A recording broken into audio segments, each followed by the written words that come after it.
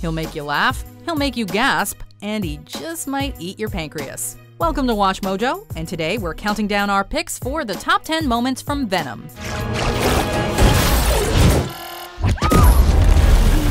Before we begin, we publish new content every day, so be sure to subscribe to our channel and ring the bell to get notified about our latest videos. For this list, we're looking at some of the most memorable, entertaining, and intense moments from Sony's 2018 Marvel anti-hero film, Venom. You gonna you gonna eat anybody else? Most likely. Oh God. Number 10, Like a Turd in the Wind. You go anywhere in the city preying on innocent people, and we will find you and eat both your arms and then both of your legs, and then we will eat your face right off your head. Do you understand? This moment might have divided fans when it appeared in the trailer, but after seeing it in the context of the movie, many a naysayer changed their tune.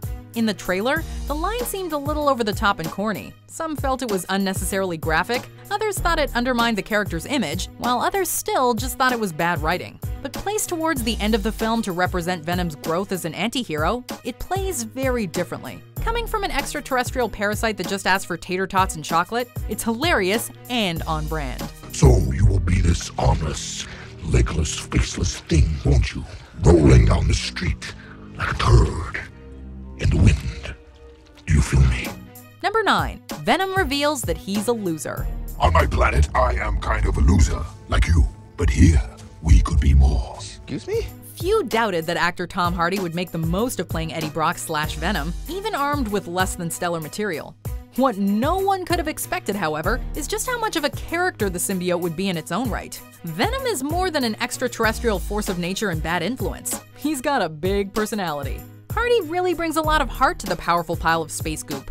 One of the best examples of this is when Venom reveals his motivations for helping Eddie save Earth. He's kind of a loser back home. We also like how he casually throws in that Eddie is a loser too.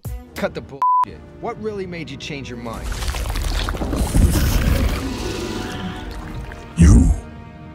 You did, Eddie. Number 8. Venom survives. Goodbye, Eddie. Venom. Let's all be honest with one another. Did anyone in the audience really think that the Venom symbiote actually died in that big climactic battle? Not a chance. The reveal that Venom survived was an inevitable one. Sony's got a franchise to build. Rather than just phone it in, however, the screenwriters made this otherwise predictable scene a pleasure to watch by tapping into that unique brand of Venom charm and the schizophrenic performance of Tom Hardy. Hey, Eddie. Hmm? We're not going to tell Dan about this, okay? Look at her. She has no idea we are going to get her back. No, I don't think so. A seemingly normal, sweet conversation between Eddie and Anne is suddenly interrupted by that familiar voice in Eddie's head. The timing is perfect. Of course, the Stan Lee cameo that immediately followed was the ideal cherry on top. Hey, don't give up on her. Either of you. We won't. Who's that guy? Okay. Wait, this thing looks delicious. Number 7. Eddie's adjustment period. Maria? Maria? I don't know how. After killing a number of hosts, the Venom symbiote finally finds a match in Eddie's homeless friend Maria. When he attempts to rescue her from the Life Foundation, however, the symbiote soon jumps ship to Brock. Though the rogue journalist should consider himself lucky he survived the experience, it wasn't exactly a smooth adjustment period. After escaping the facility with a little help from his new passenger, Eddie tries to get the wheels in motion to expose Drake back at his apartment. But the symbiote soon gets the best of him. He's chugging water, eating frozen tater tots, and chicken from the garbage. It's a wonderfully hectic scene that ends with a real bang.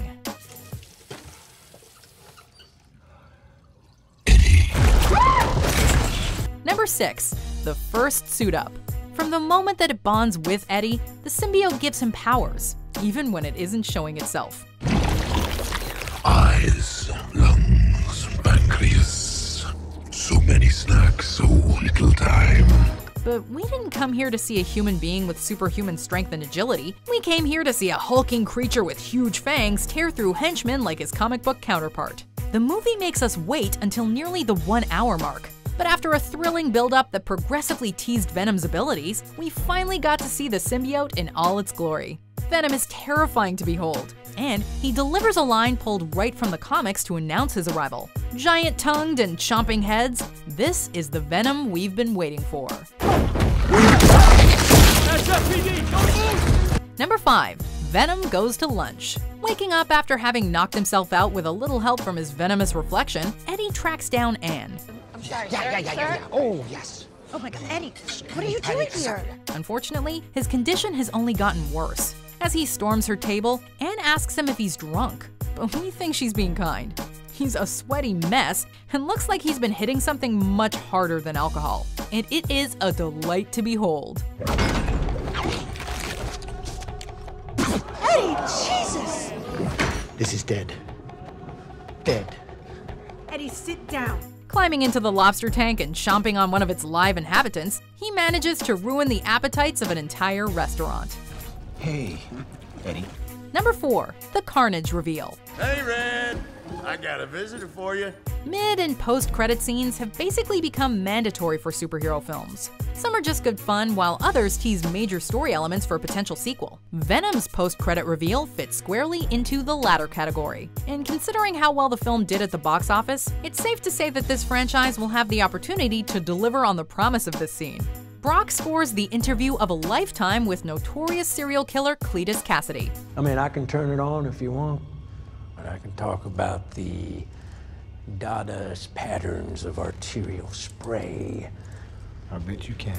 As comic fans will know, he's the man who becomes Carnage. Played by the talented Woody Harrelson, who's got no trouble playing psychotic killers, Cassidy is the promise of big things in the sequel. When I get out of here, and I will, there's gonna be carnage. Number 3. Venom versus the SWAT team. Guys, you you you do not want to do this. Trust me. Mask! Copy! All right, have it your own way. Mask! Copy. What the hell is that thing? After bonding with the symbiote, Brock struggles to rein in the extraterrestrial's darker impulses, namely its desire to kill and bite off people's heads. Though Venom may take a little too much joy in his work, there's no denying that he makes for a valuable ally when backed into a corner. Pinned down by a SWAT team, Eddie unleashes Venom on the condition that the symbiote keeps it non-lethal. This is the first time that we really get to see what Venom can do, and boy is he ever good at mowing down his enemies. He might not kill, but he sure does maim and brutalize as he cuts through the smoke to decimate the SWAT team.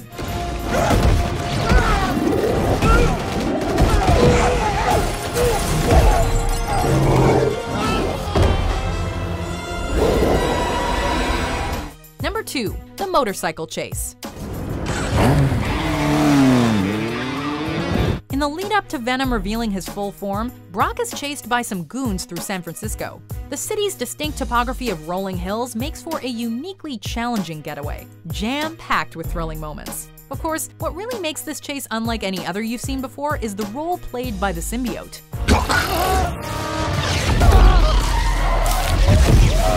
Thank you. You are welcome. Venom's tendrils help him stay on the bike in situations that would cause even the most skilled rider to bail, while also protecting him from various hazards and projectiles. Of course, the symbiote assisted jump is the crowning jewel of this high octane creative sequence. No, you are out of your mind!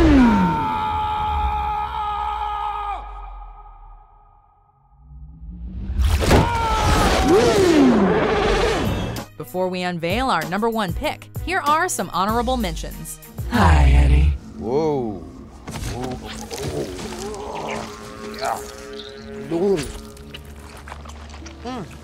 What the hell are you? I am Venom. And you are mine. Number one, freaking out and fighting henchmen. Do not open that door. After a phone call with Anne that got interrupted by the symbiote, and discovering its weakness for loud noises, Brock is already pretty on edge when Drake's goons show up. What are you doing? I'm uh, I'm putting my hands up. You are making us look bad. I no, I am not. Yes, you are.